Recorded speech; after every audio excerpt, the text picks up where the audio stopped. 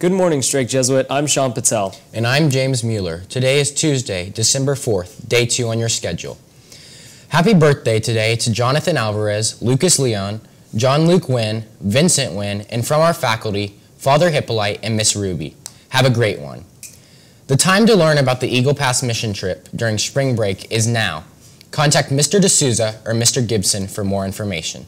The intramural kickball tournament has some interesting matchups this week. This week's games are as follows. On Wednesday, it's Team Goya versus the Kickballers. On Friday, it's the Mystery Men against the FBI squad. Games start at the beginning of community time and the quad field. Both matchups are quarterfinal games.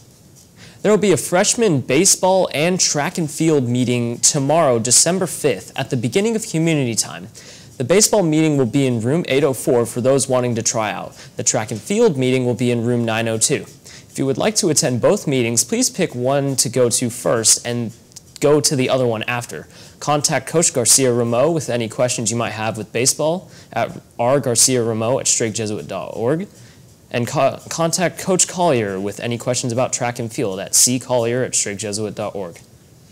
The updated house points for November December are as follows Claver with 94 points, Gonzaga with 68 points, Jogues with 68 points, Campion with 53 points, Xavier with 37 points, Regis with 30 points, Faber with 28 points, and Bellarmine with 26 points. Keep an eye out for a Christmas-themed opportunity to earn points during community time next Monday, December 10th. The house with the most points in December uh, and November will receive a free cookie from the dining hall.